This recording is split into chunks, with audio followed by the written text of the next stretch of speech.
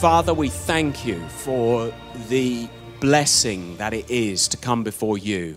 Jesus, we love you and we pray that this day you would renew our faith, renew our strength, give us, Lord, your blessing God. And Lord, I come humbly before you that Jesus, you would give me the revelation from you that you want, Father, this morning. And Father God, Lord, I put myself at your disposal. Father, I thank you for every brother and sister here, Lord, that you will bless them and anoint them today in your mighty name. Amen. Amen. Now, we had a big sporting event, not just Britain but an international sporting event a couple of months ago. Anybody watch it? Anybody know what it might be? No, it's not rugby. I, like, I like that. It might have been rugby. It's not Arsenal. Exactly. Even bigger than that. It's the Olympics. And um, I was uh, never great at uh, sport at school. I was always the, the boy you didn't want on your team. You know, when they come to pick teams, you know, I was sort of last one on the bench. You know, unfortunately, all the other people got chosen way ahead of me. And uh, I was the sort of person who, if I was on the football field, I'd be looking at the grass just as the, the ball sails by, sort of into the goal. Uh, but uh, even I acknowledge that there are important things you can learn from sport, aren't there? Uh, and, and, and the lessons it gives us. And I was watching the Olympics, and God spoke to me about some of the, the lessons that were there on display at the Olympics. I mean, we, we, the Olympics are the end games. They're the culmination, aren't they, of an awful lot of sweat and tears and toil. Um, but it's what they represent that gives us something in God as Christians that we can learn from. I mean, Great Britain, we did well, didn't we? It was 67 medals overall, 27 of them gold. It was our best performance since 1908. I don't know who was competing in 1908, but, you know, really good performance above China in the medals table. And people thought you know, Great Britain, they wouldn't do better than last time because it's a rarity, isn't it, for a country after it's had the games on home soil for it to, in the next one, exceed that. But, but they did. And, you know, names like Nicola Adams, you got Mo Farah, Adam Peaty, you know, these are household names. And, and their achievements represented something, didn't they? And, and as I say, I wasn't a great athlete. I'm not an athletic person. Uh, but I think in the physical, we sometimes see lessons that are useful for us in the spirit. And, and we're not just talking about winning gold in the natural, but I've titled my message today, Winning Gold in God. Winning Gold in God. I want to be a winner, you know? Athletes don't take part in order not to win, to pass the ticker tape, the finishing line, do they? They're not in it just purely for enjoyment. They are in it to, to achieve something. Uh, and I want, you know, uh, and, and I, I love my relationship with God and I love the presence of God, but we are here to do something, aren't we, for God. And, you know, sometimes people think they, they run the race, you know, to kind of qualify. And God would say, look, you know, you're not running the race of life in order to qualify. You've already qualified. You know, you're already loved by God. You're already won by Him. You know, you're in the race because you are a child of God, not to become one, you know. Um, but we're in this race of life to do something for Him and, and to be a blessing for, for Him. And um, if we look at the book of Hebrews, if you want to turn there, chapter 12 and verses 1 to 2.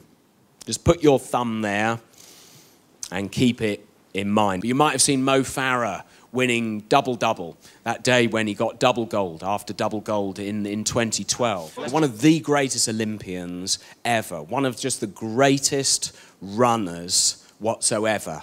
And it's almost like, you know, came from utter obscurity to, to world prominence through sport, through his achievement, through his effort and ability just to, to break through. And um, if we turn, if you're in Hebrews 12, because this book in the Bible is written to people who knew all about the Olympics, yeah? There was the ancient Olympics that started several centuries before the birth of Christ, and then they had a break, they were cancelled for a bit, and then we have the modern Olympics that started up sort of late 1800s. But this audience that was being written for in Hebrews, whether Paul was writing or whether it was Barnabas was the writer, we, we don't totally know, but we know this letter was written to people, Christians, who were going through persecution, yeah? So they were mostly Jews who were probably having second thoughts. They think, well, this is the, the race we're in. I'm not sure I want to carry on with this race. Maybe there's another race we, we want to join. So there were people whose hearts were fluttering, whose, whose um, you know, resolution was, was wavering. You know, people who began well with some enthusiasm, but were really having second thoughts, yeah? So, so it, it was important to them to say, look, guys, stay the course. You know, we know it's difficult, but this is a reminder, a godly reminder of why you're here and why you're doing this stuff, you know? And, and the writer says, first one, says, therefore, we also, since we're surrounded by so great a cloud of witnesses, let us lay aside every weight and the sin that so easily ensnares us, and let us run with endurance the race that is set before us. Verse 2 if you got it. Going on strike. Or I can read it in my Bible if you like. Do it analog.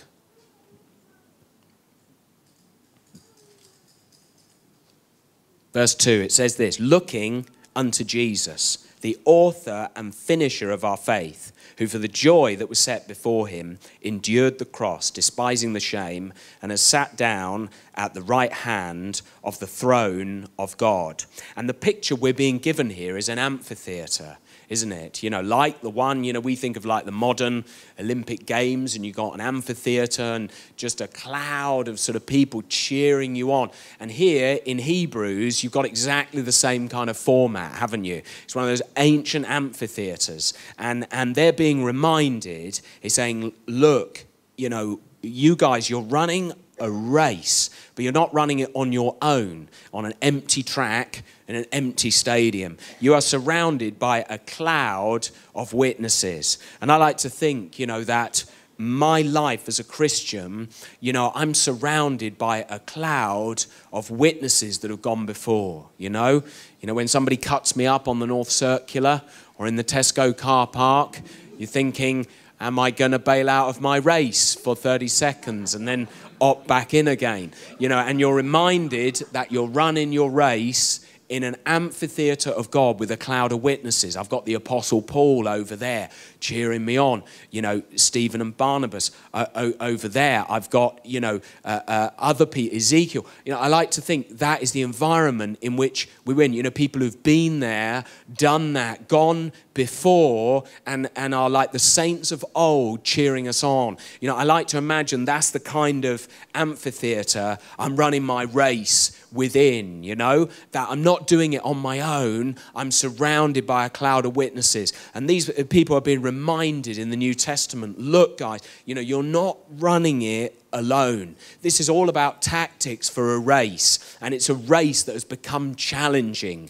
You know, whatever happens within a, a, race, you can guarantee, even if you're very, very good at it, that you'll hit times where you've really just got to keep pressing through. Otherwise, you're going to bail out. You know, that's why it's a race. Otherwise, there's no point in having, unless it's a feat of achievement, there's no point in doing it in the first place, you know? And, and I think, you know, God would say, look, be reminded you are not running this race on your own. You are surrounded by a cloud of witnesses who wish you well, who are praying for you. You've got the host of heaven there on your side. You know, it may feel like you're the only one, but you've got people really who've been there, done that, who's saying, look, come on, Tim, for goodness sake, Get it together. Keep going. You know, you're doing well. You know, you've had a bit of a, you know, setback or whatever, problems with your metatarsal. Don't worry. Keep going. You know, keep going. You will get towards the finishing line, you know. And in the Olympics, well, perhaps now, certainly in the ancient Olympics, you know, the, the, uh, the, um, uh, the track race, the running race was the preeminent race. So that took precedence above any other form of athletics. It was just seen as the, the ultimate. And I think that's the picture that's being drawn down and, and used. And I want to get into today how do we run our race well? Because you can run a race badly, can't you? Yet sometimes people, you know, compete in the London Marathon in like a diving bell suit and finish it like a month later because they've like crawled around the circuit, you know. Uh, and they're more doing that just to say, look, I've done that, rather than for speed, you know. So you can run a race, but not particularly well. But we're in the business of of running a race effectively, running the race that God has for you, and doing it in a good way, doing it in a godly way. And I think God would give us, well, I've got at least three keys to running that. And the first one is say to the person next to you, get fit. It is impossible, isn't it, to run a race well unless you are fit. That's perfectly obvious. I'm not a particularly fit person. I'm not a fat person, but just because you're not fat doesn't mean you're, you're fit. I'm not particularly well exercised. But if you're going to win a, a race, physical fitness is really important, isn't it? You know, and, and there's no point in Great Britain having, you know, really, really world-class athletes and really bulked out, sleepy, slothful Christians, you know? Um, so God says to us, you know, raise and I'm speaking to myself just as much as you, raise your game, you know, because, because we need to be people who are fit. You know, behind all those Olympians who won gold, you know, I think of people like Adam Peaty, people like that, people we'd never heard of before, you know, and suddenly, bang, you know, they're prominent. Rio 2016. Everybody's heard of them. But beneath all those success stories is a story of, you know, getting up on a dark winter's morning at 4 a.m., you know, driving to the swimming pool, you know, doing lap after lap after lap when nobody's cheering you on, when nobody's thinking about Olympic, you know, they keep themselves going and, and regularly discipline their bodies that that moment of glory can come in 2016. Everybody says, wow, how admirable. But beneath that is a story of persistent, of getting fit, of being ready. You know, athletes, you know, they don't compete randomly, do they? They're not randomly going all around the track. They know what they're doing. And, and fitness is important. You know, in the ancient Olympics, they often used to run naked. You know, because Athens is very hot, isn't it? I don't recommend it in Wembley. Please don't try it.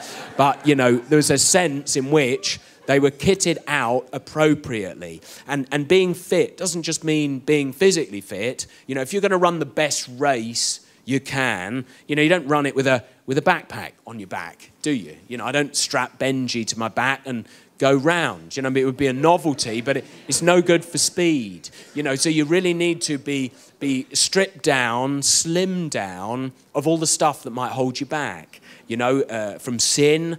It's not just sin, is it? It, it can also be weight. You know, weight isn't always a, a, bad thing, but it's just the wrong thing at that moment, you know? You can be holding on to stuff from your past that, that you don't want for, for this current leg of the race. It was all right for a while, but I mean, it's, it's, it's you know, it's, it's the right thing at the wrong time, isn't it? You know, you can carry a bag fine when you're going shopping, but I mean, you don't go onto the racetrack with Tesco carriers and all the rest of it. You know, got to remain that this is the race. You know, lay aside every weight. You know, lay aside, get get rid of it. You know, any weight every weight, all weight, whatever it is. You know, it may be a perfectly legitimate care, but you, you need to get rid of it, you know. And the sin that so easily ensnares us. It's not uh, easy, it's not, um, sorry, it's not difficult to get ensnared by sin, is it? You know? and, and athletes, one of those things with those Olympians I really noticed was how dedicated they were.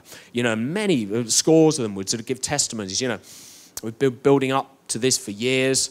You know, I didn't go to lots of friends' birthday parties. I didn't go out lots of Saturday nights because I had to be ready up for training the next morning. You know, they sacrificed something in order to, to get that. Now, I'm not saying don't go to birthday parties, don't enjoy yourself. I don't mean that at all. But they had an absolute iron focus that their life was going to be dedicated to doing this, you know, and they got rid of other things that were perfectly legitimate, but just a heavy weight when it comes to, you know, if you're really going to go for it and win Olympian gold. Do you know what I mean? So uh, get fit, number one.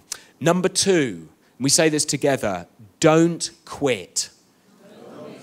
Say that to the person next to you again. Don't quit.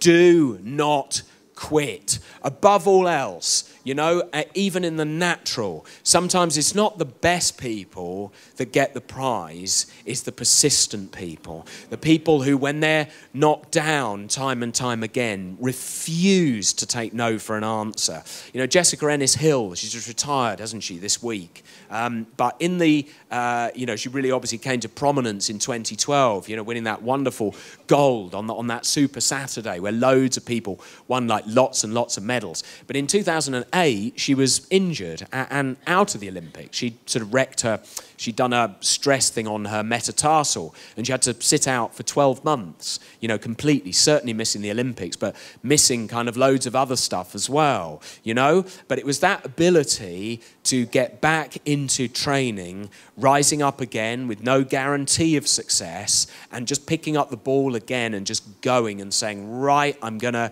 I'm gonna do it. I really think I have it with in me to, to, to do this, to achieve something incredible. You know, do not quit. It says, let us run with endurance. You know, it doesn't say let us run with half heartedness. Let us run brilliantly for the first two minutes, then bail out. It doesn't say let us run really well, uh, stop off halfway around for a Diet Coke, put your feet up, get back in when you feel like it. No, it says let us run with endurance. You know, the word for us is like perseverance, persistence, to keep going. The Greek word for race is agone, which is our word, probably the clues in the name, agony. You know, there can be an element of struggle, can't there, in just keeping in, you know, but the ability to be successful often is just putting one foot in front of another and keeping yourself in it, you know? When you hit a pain barrier. Anybody done a lot of running? You hit a pain barrier, don't you, after a while? And the enthusiasm begins to go. And you think, why am I in this? I really enjoyed it, now, but I don't even know why I'm running this at the moment. You've got to keep pressing through that to get out the other side. You need whatever your, your, task, I'm sure you will hit a pain barrier at some stage or another. And it'll be a different pain barrier for you than for me. It'll come at a different time for you than for me. But it's our own personal pain barrier that we need to get through with Jesus and come powering on through to come out the other side. You know, it's not the external circumstances is how we respond to them and, and deal with them. You know, weather happens, doesn't it? You know, and, you know, all sorts of things can, can come our way, can get chucked our way. And, and, and it doesn't matter what, what it is, it matters how we respond and what we do in, in that stress test that we experience, you know. But do not quit and the other thing that I love here is just the reminder that I'm not running this race on my own, you know? Often see athletes going around the field, but there's a whole team of, of people behind them who have trained them and been with them. You know, nutritionists, doctors, fitness experts, previous athletes who are now trainers, you know, who, who will give them the impetus to get through, you know. And, and I thank God in my life, I know that I'm only here today by the grace of God and through people that He's put within within my life, you know, that when I'm going through a difficult time, you know, I can lean on Prempe to hold me up and to keep me on the straight and narrow. There's people that I see every week. If I begin to go a little bit off, off skewed, off the track into the cinders, will push me back on again and, and get me sort of back in the race. That whatever happens, it's not just my strength that's keeping me through it, but other people who are cheering me on, saying, Tim, well done, take that weight off, get that sin off your life. It easily ensnares you. Get back on the track, get ready. You will make it. You will get to the finishing line. Keep going. You know, you're not just running it in your own strength. There was a story during the Olympics, in fact, of a, of a couple of female athletes, and um, they, uh, one was uh, an American, the other was a New Zealander, and, and a lady called Abbey D'Agostino and Nikki Hamblin. And they said that they embodied the Olympic spirit because one of them had a tumble on the, on the track, and the other one could have sort of just forged on and thought, I'm, I haven't trained for four years not to, you know, to just help this person up. I'm going to keep going. But they helped each other back into the race. And they sort of almost finished the race. There was quite good footage of them, like leaning on each other.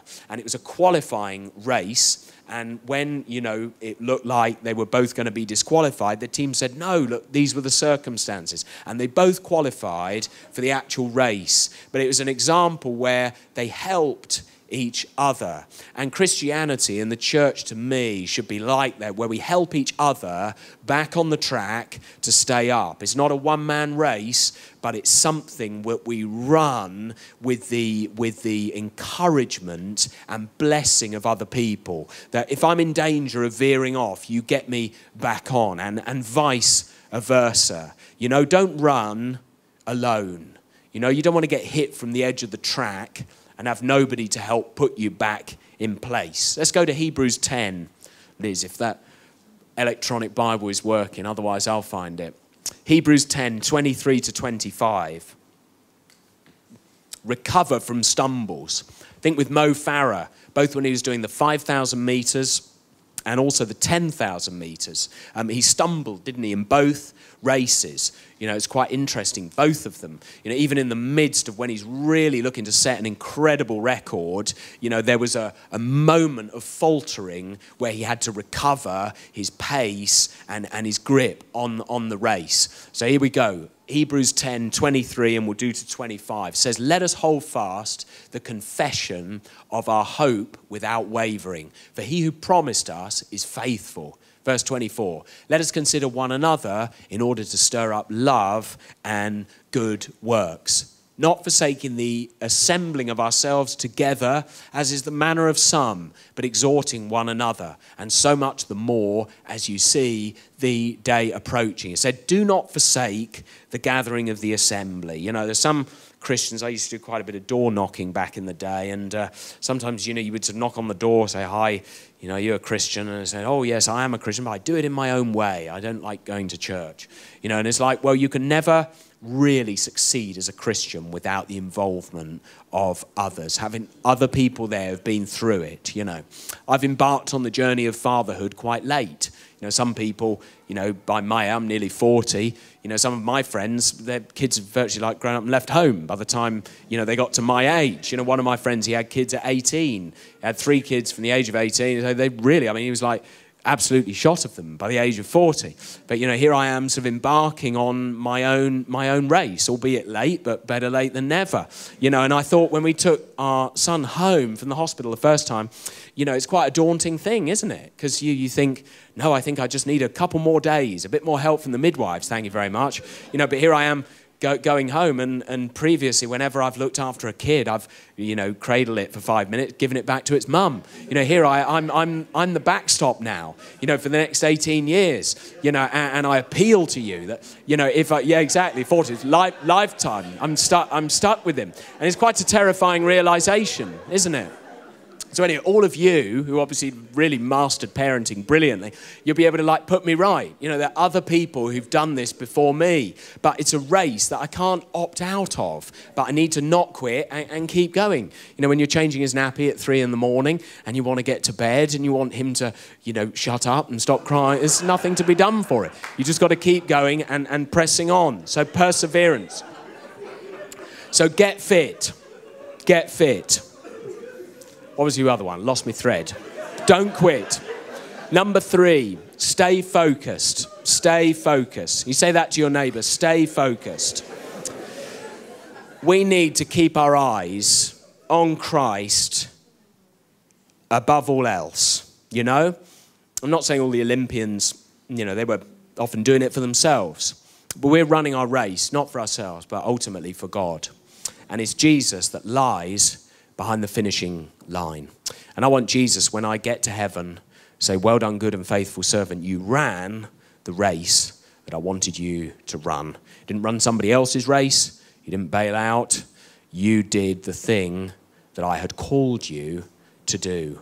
And, and we run it with God's help, God's anointing, God's blessing upon it. You know, in order to finish, we need to keep our eyes on God. Those of you old enough to remember will remember that the um, four minute mile was first run by a man, British man called Roger Bannister. And uh, he ran it in 1954 and uh, he was the first person to do so. You know, first man to run a mile in less than four minutes. Never been done. It's been done since several times. But this is the 50s. You know, didn't have the technology then. Didn't have the you know the level of fitness, the level of training. It was an immense achievement. And uh, he ran it on a, on a circuit in Oxford. He had not just himself, but his, his friends, so Chris Brasher, Chris Chataway, as pace setters. You know, before, you know, he says a couple of times, doesn't he? I was so full of running.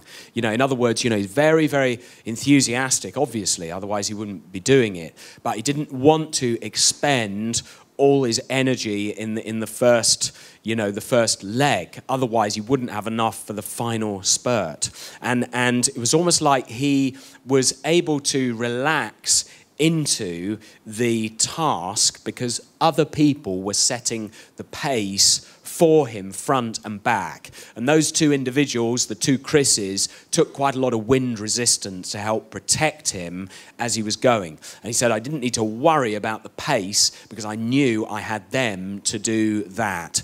And I think almost in God, God would give us divine pace setters in the form of Jesus at the finishing line and the Holy Spirit as we're even racing ourselves to enable us to complete it. In other words, our front is covered and our back is covered for success. You know, those two Chris's were with him for his success. And I believe God has um, appointed us to get a goal, to cross the finishing line properly. That when we're in the race, we don't need to worry about the pace. And I think so often in Christianity, we think, oh my God, why haven't I got this now? You know, I've been tithing faithfully and I haven't seen my breakthrough on April the 10th, you know, 2017. You know, and God says, look, don't worry about the pace, worry about the quality of the race you're running. Let me worry about that, and I'll make sure you get over the finishing line. And God says, Look, I'm more interested in the depth. You know, He said before many times, attitude determines altitude. And often as Christians, we're looking around, looking at the other person. Oh my God, look at him. He's exceeded me. I'm running my race really badly. And you think, No, all that matters is that you are running your race according to God's will and that he has that he has you there. You know, often, you know, we're not running on a racetrack that's perfect. And you think, well, I wish I knew the Bible more. Look at other people are so much better than I am. You know, you wouldn't believe the sort of background and start I've had in life. You know, like Roger Bannister's racetrack, you know, you haven't got everything perfectly laid out. And God says, look, I, I, I don't don't worry. You know, I'm able to get you through all of that. I'm able to propel you through all of that whatever happens. I've got your front, I've got your back, and I've appointed you for success. And I want you to run this race and run it successfully and to get not just the bronze or the silver, well, there's nothing you know, wrong with getting those things in the natural in the Olympics, but to get the gold and to run the race that God has called you to. You know, we have a responsibility, don't we, under God, to, to get fit you know, me as well as you, me more than you. I mean, looking at you, you don't need, I do. You know, I look in the mirror every day, I think I need to be fit. So stay fit, spiritually and physically. You know, do not quit. You know, perseverance, just that ability to keep pressing one foot in front of the other with the help of others, with the anointing of God behind you, and to stay focused, to realize it's not your race, it's God's race, that He has your back, He has your front. There's nothing that alarms or dismays Him. You know, Winston Churchill used to say, you know, when asked, Winston, did you ever have any worries in your life? And he said, it's like the story of the old man who said, Oh, I had a lot of, I've had a lot of trouble in my life, most of which it never happened. You know, a lot of the things we worry about, they, they, don't even happen. You know what I mean? And they certainly don't alarm or surprise God. We can never do something, stuff can never come our way from the side of the track, and God thinks, oh my goodness, what's going on there? I can't believe that's happened. God is in control. He's got your front, He's got your back. Let's rise in His presence, shall we?